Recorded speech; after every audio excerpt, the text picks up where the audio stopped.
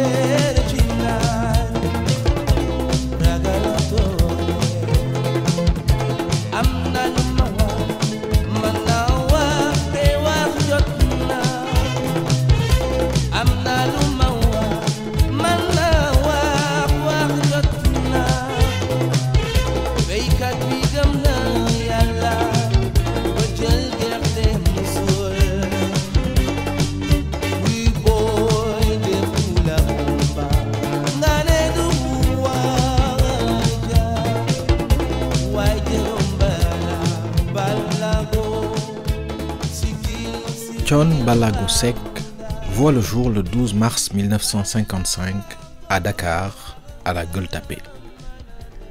Après Abdoulaye Narsek, c'est le deuxième fils de Nogay et Chersek.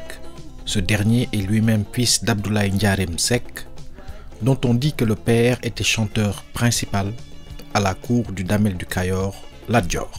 Au moment de se retirer de la vie publique, il reçut de la Dior en guise de compensation le village de Marine dans le Cayor profond. C'est de là que vient le terme Faramarine.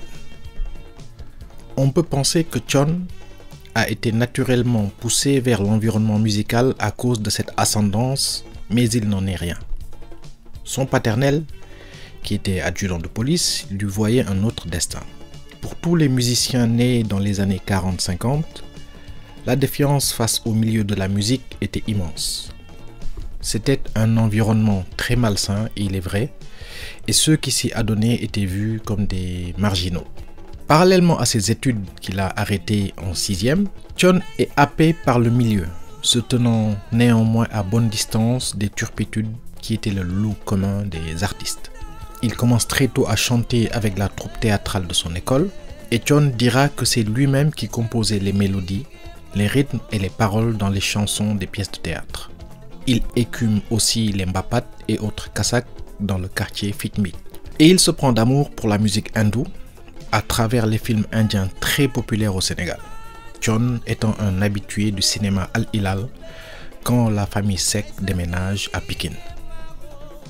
Puis dès l'adolescence, à la fin des années 60, à 16 ans, John décide de se lancer définitivement il fraye avec l'orchestre de Biragay, grand saxophoniste, où il passe quelques mois, quand Abdoulaye Mboup, une des vedettes de la musique traditionnelle, fait irruption dans sa vie.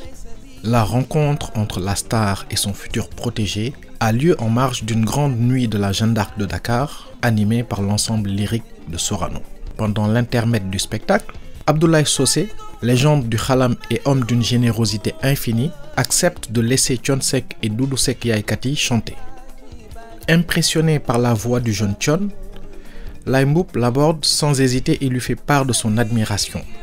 Mieux, il lui promet alors de le prendre en main, ce que Chon voulait et redoutait à la fois du fait de la défiance de son père quant à son choix de percer dans la musique. Ni une ni deux, Laimoup rend visite à Chersek afin qu'il donne son blanc-seing. Le père Sec, alors chargé de la sécurité du président de la Cour suprême Kebambay, hésite, puis accepte de confier son fils à Laimbo.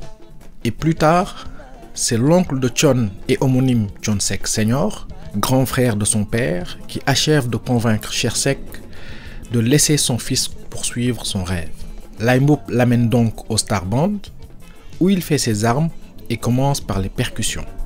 Il y compose aussi la chanson Chéri Coco qu'il n'a pas le temps d'enregistrer. C'est Pape Dibiba qui aura le privilège de l'enregistrer avec le Star Band, bien que Chon en fût le créateur. Un an plus tard, c'est encore Abdoulaye Mboup qui l'amène avec lui au Baobab en tant que remplaçant attitré.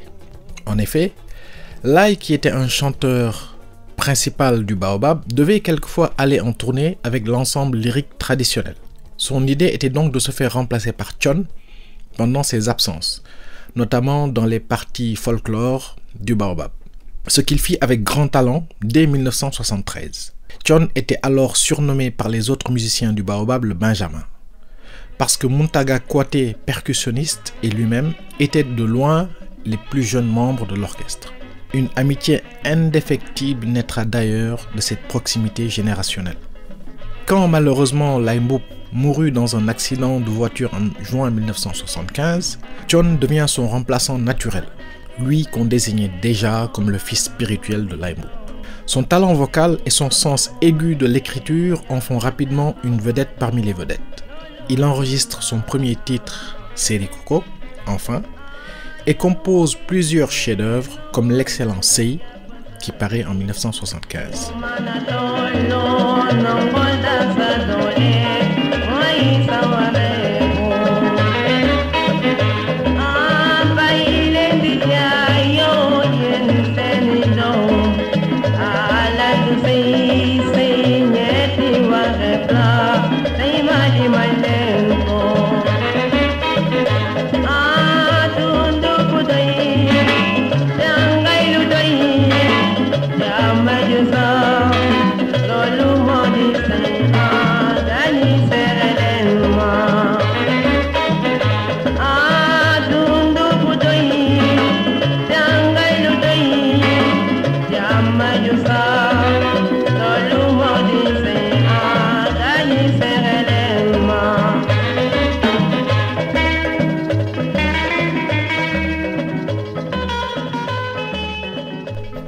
Son masterpiece avec le Baobab, l'album Muhammadou Bamba, où il offre au public deux chansons extraordinaires, le titre Bamba et le très émouvant Domobay.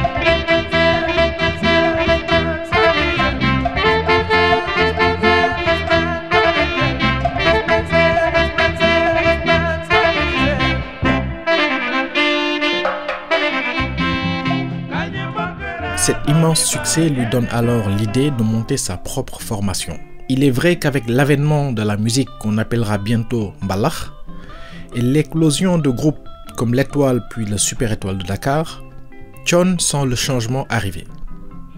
De plus, Chon qui habite encore à Pékin est très mal payé au Baobab. Il gagne 6000 francs par semaine et rien que le transport entre Pékin et Dakar lui coûte 2000 francs par jour. Ainsi, il va dans un premier temps, sans quitter officiellement le baobab, aller vers la musique traditionnelle, magnifiée par son mentor Limeboop.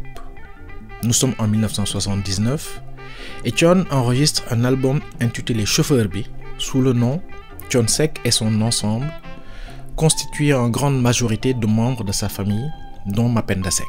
Un album authentique, formidable, avec des textes évoquant la religion et ses rigueurs, Djulel War, la sécurité routière, chauffeur B, la famille d'hommes. Et il évoque la perte de son meilleur ami, Blindigal.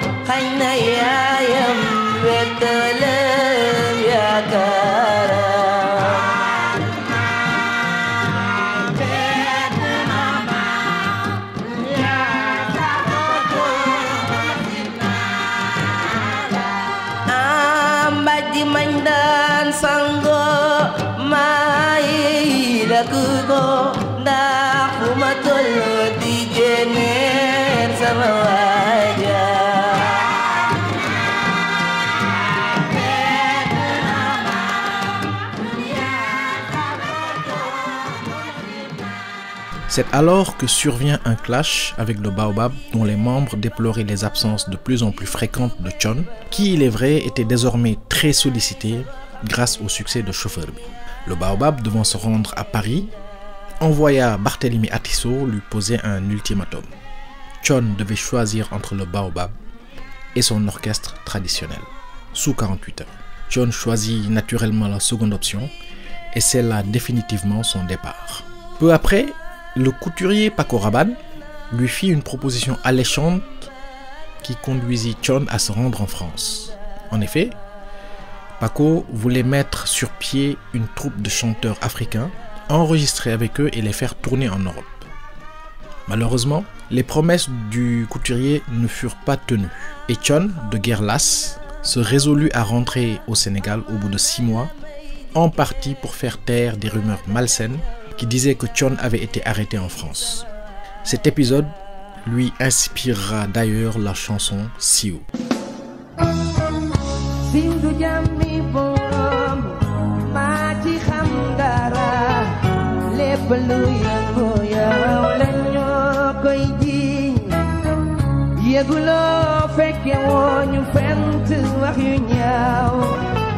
ambaba mo barilon tay ko sa ginaw wa magise di mare mawan lagi now kaya ako sa mader dumajar darah baile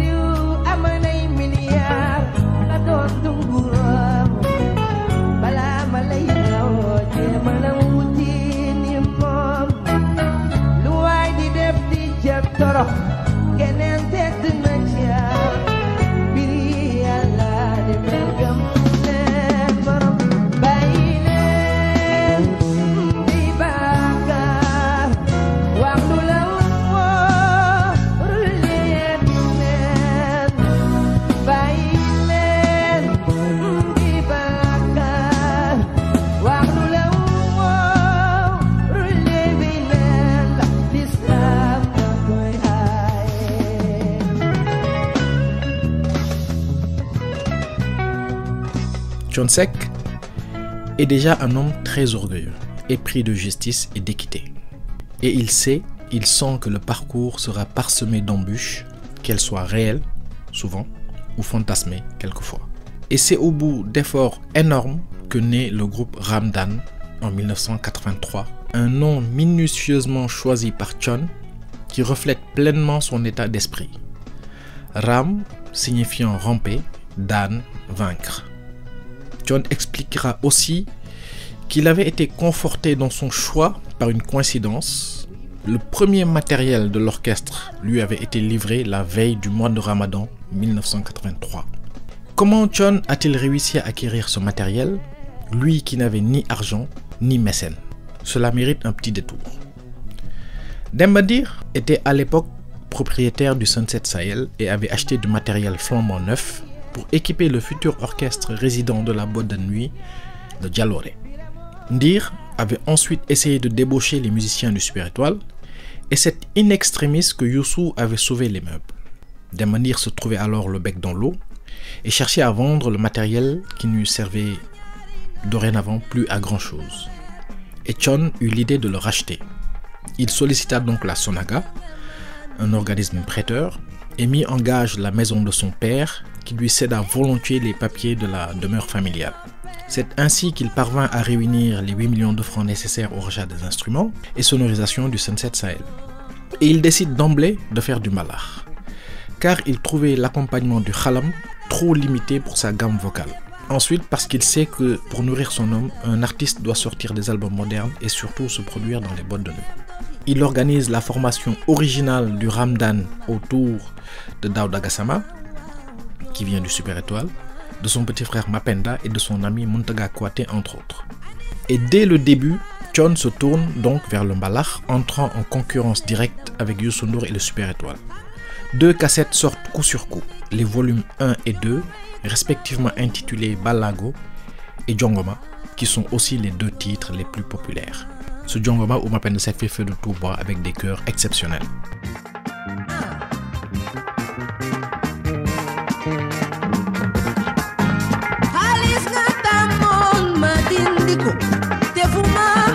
Jëm ne la jógal.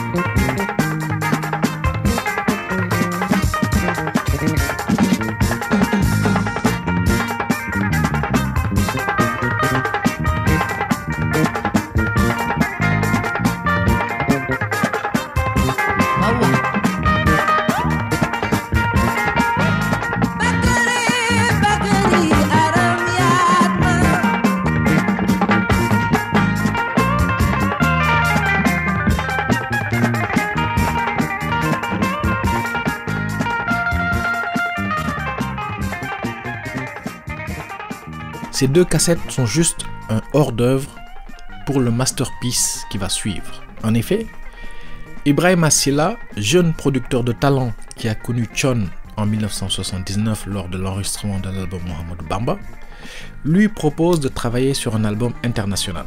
Il fait alors appel une première fois au génial Adama Faye et à Manolima pour diriger l'œuvre. En plus de son rôle de guitariste sur l'opus, Adama amène sa science musicale, son grand sens de l'équilibre entre harmonie et rythme. Cela donne l'album Yo, qui ouvre sur le fantastique Mbarodi.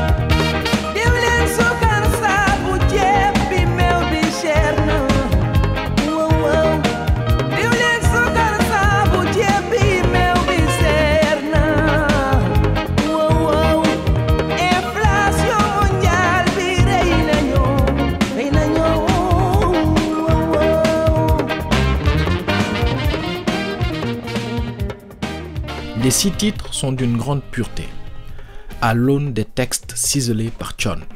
Sari, Kharebi, un pamphlet contre l'apartheid, Mas Ndiaye, et l'extraordinaire Yo complètent l'album. C'est un ballard mesuré, propre, et Chon se permet même une excursion dans le reggae à la fin du morceau Yo.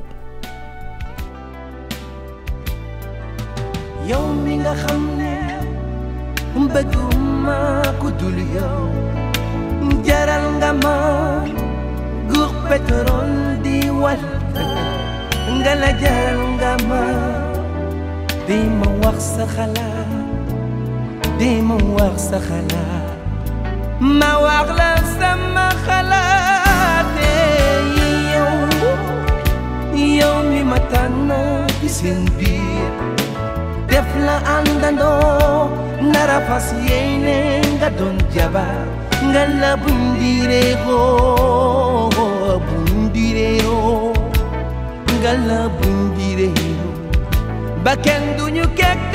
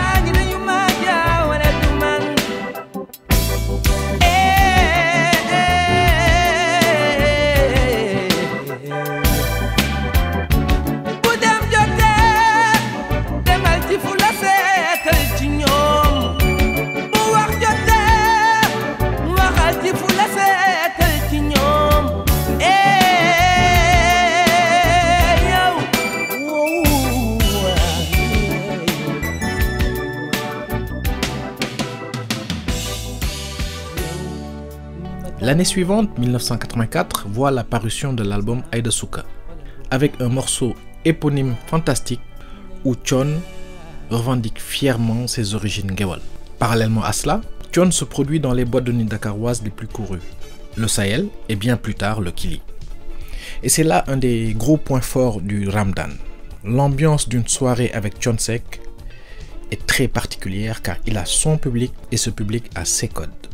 Le mbalach endiablé conduit par les percussions de Moussé Paté est savamment accompagné par la guitare d'Adama Sarr, qui est sans doute le musicien fétiche de Chon.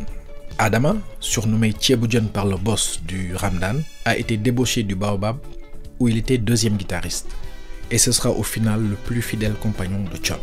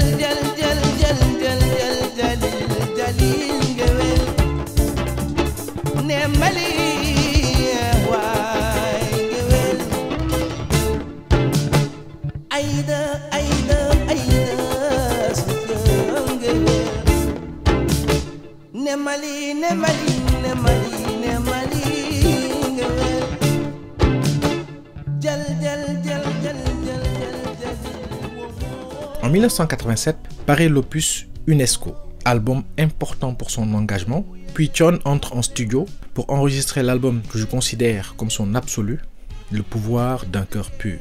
L'album est produit par Félix Anagonou, qui avait organisé en 87 la première tournée hors du Sénégal de Chon Sek. Ce dernier s'attache à nouveau les services d'Adama Faye, qui a entre-temps fait le bonheur du Super Étoile. Il reprend magnifiquement des morceaux de volume précédents et les rend incontournables. Aïda Souka, Yaay Boy, Balago, Man Mi Ñuul et l'exceptionnel Yen, qui se termine comme Yow par une subtile orchestration reggae.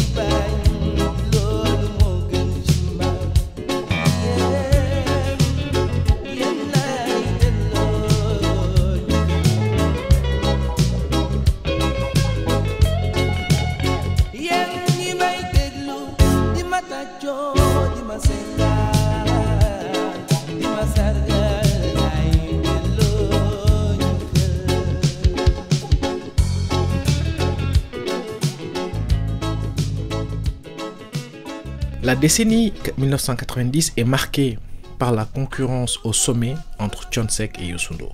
Les supporters, un terme choisi à dessein des deux camps, attisant le feu qui serait parti d'une session d'enregistrement bâclée dans le tout nouveau studio hippie appartenant au leader du Super Étoile. Histoire de bien marquer son territoire et d'affirmer sa présence au sommet, John sortira un opus chaque année, hors série numéro 1 Pur Mbalar en 91, Papa en 92, numéro 10 qu'il dédie à Abdou Diouf en 1993, ce qui lui vaudra d'ailleurs une polémique comme on en connaît souvent au Sénégal. Et après l'album Tan Neex en 1994, John renoue avec la musique traditionnelle en sortant la cassette Demb en 1995. Et c'est du velours. John maîtrise. Il y rend d'ailleurs un hommage appuyé à Abdoulaye.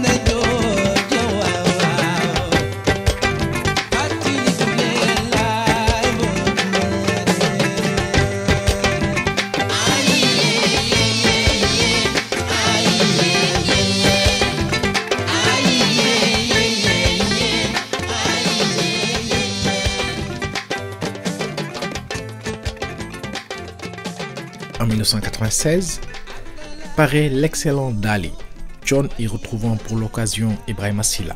Comme à son habitude, Silla met au service du chanteur une très grosse équipe. Malheureusement, encore une fois, le succès reste confiné aux frontières de la Sénégambie, contrairement aux attentes. 1997 s'ouvre sur une très belle collaboration entre Chon et son cousin Hassan.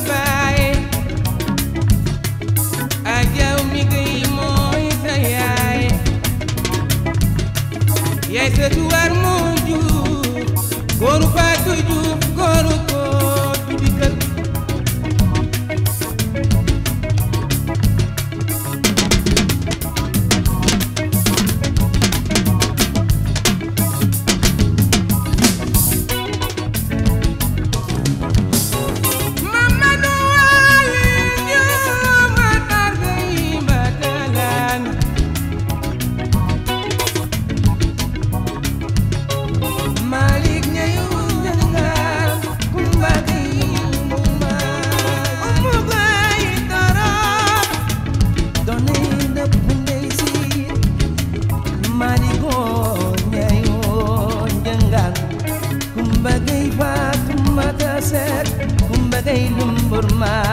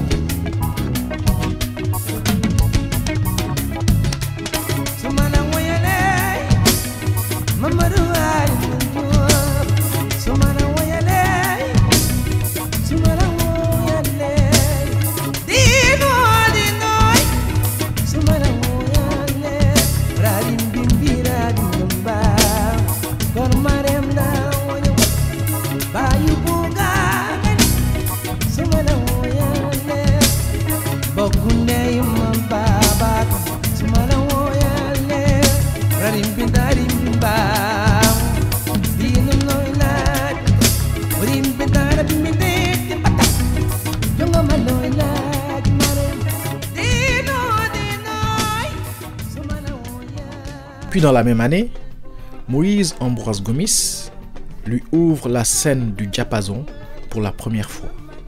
John en profite pour revisiter le tube Yai Boy pour en faire le hit Machu dédié à son ami Ismaël Fall.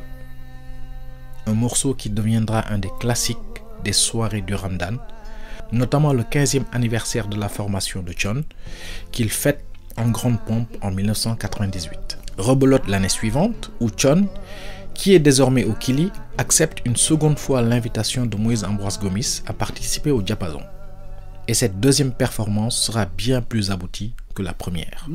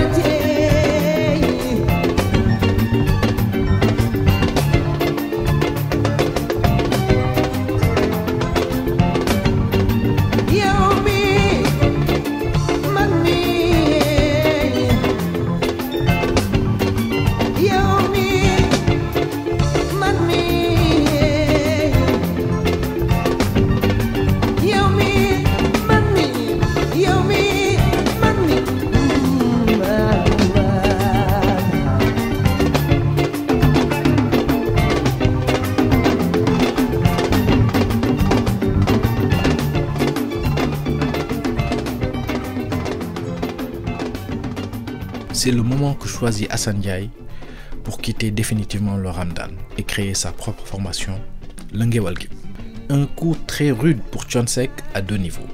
D'abord au niveau personnel, il ne s'attendait absolument pas à ce qu'Hassan, qu'il considère comme son petit frère, le quitte sans le prévenir. Et il mettra très longtemps à le digérer. L'autre problème à gérer est la défection de nombreux musiciens clés du Ramdan, le percussionniste en chef, et Suleiman Jules Diop, le batteur notamment.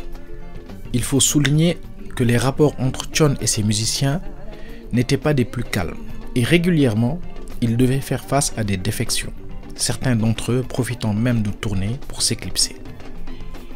John verra toujours ces événements comme des complots visant à ruiner sa carrière et nourrira d'autant plus la paranoïa, quelquefois justifiée, qu'il habitait.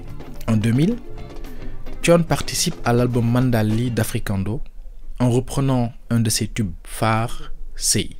Il enregistre des albums assez peu marquants comme Allo Petit ou Bulldog qui sont assez éloignés des chefs-d'œuvre qu'il produisait quelques années avant. Mais il va frapper un grand coup en se lançant dans le projet Orientissime dès 2001.